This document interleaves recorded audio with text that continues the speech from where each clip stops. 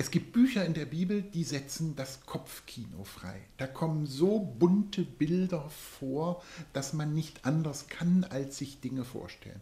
Und das Buch, das vielleicht die meisten Bilder im Kopf freisetzt, ist das letzte Buch der Bibel, die Offenbarung des Johannes, die Apokalypse. Ich kenne viele Illustrationen der Johannesapokalypse.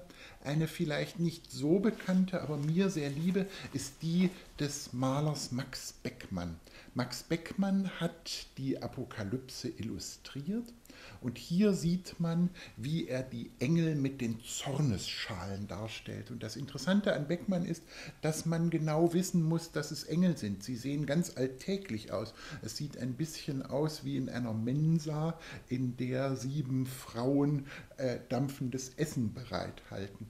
Äh, das ist das Interessante, dass Beckmann die Illustration der Apokalypse fortholt von den uns so vertrauten besonderen Engelswesen, wie sie die gotische und vorgotische Buchmalerei zeigt, und die Apokalypse mitten in den Alltag holt.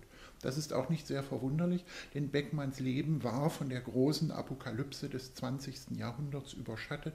Beckmann wusste, dass die Apokalypse und ihre schrecklichen Bilder inzwischen nicht mehr nur in einem Buch festgehalten sind, sondern im 20. Jahrhundert aus diesem Buch hervorgestiegen sind und Wirklichkeit unseres Lebens geworden sind. Wenn man die Beckmannschen Bilder sieht, kann man dies schmerzlich wieder erfahren.